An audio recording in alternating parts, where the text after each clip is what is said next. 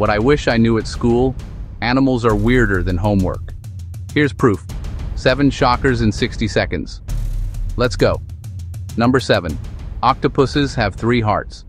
2 pump to the gills, 1 to the body. Number 6. Honey badgers don't care.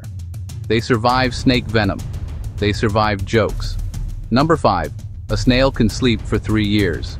Yes, 3. Number 4. Goats have rectangular pupils. Great for night vision. Dramatic stares. Number 3. Seahorses are the dads who get pregnant. Gender roles? Overruled. Number 2. Elephants mourn their dead. They remember faces for decades. Deep stuff.